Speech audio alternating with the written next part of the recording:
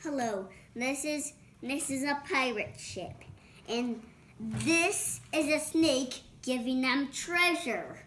Oh. And this is Captain Crane. And this is Captain Hook.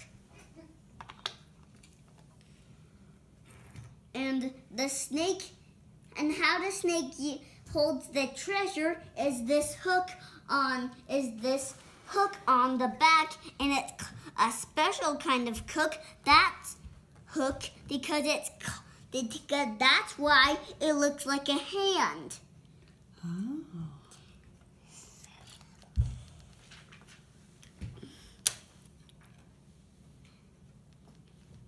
And this is what and it and it and it also uses its hook to to scare away its enemies, but it and one of its enemies is a is an elephant, but it doesn't use its hook to scare away that enemy. It ties elephants up with its with its with its with its with its belly.